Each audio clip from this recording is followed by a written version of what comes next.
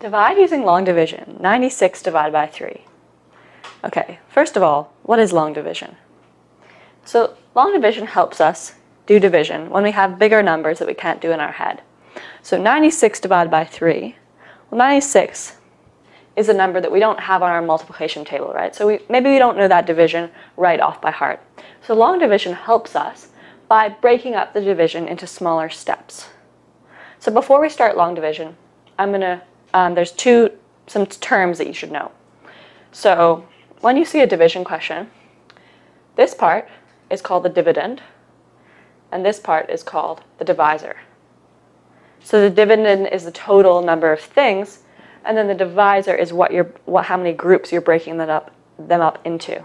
Okay? So when we set up a long division, we use this box.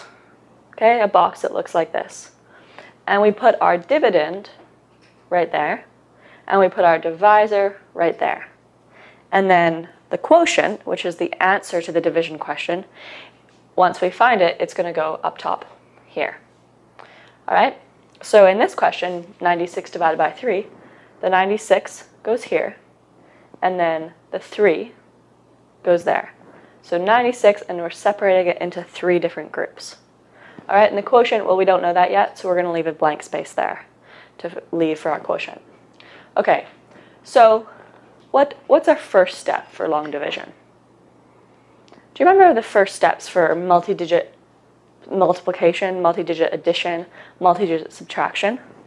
Where do we always start? With the ones, right? The smallest place value. Always started on the right-hand side at the smallest place value for the ones. In division, we're actually going to start at the biggest place value. So in this one, we would start here.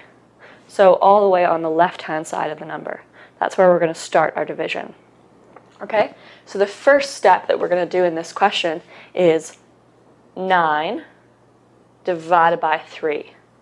So we take our biggest place value and we divide it by the divisor, which is on the outside. All right, so 9 divided by 3 well, that's an easy one, right? That's one that you hopefully have in your head.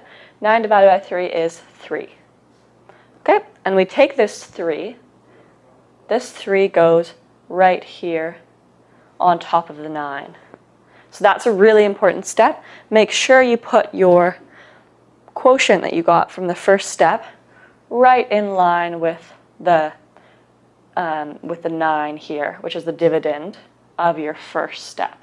So this is step 1. All right, okay, second step is going to be 6 divided by 3. 6 divided by 3 is 2, right? So this 2 is going to go up here like that, right above the 6. All right, so now we're done because we've gone through both the place values in this question. We've done all the steps.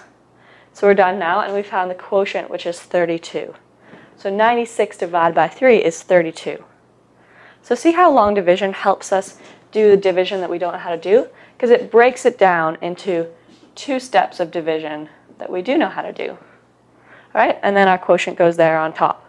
But remember what the important part is?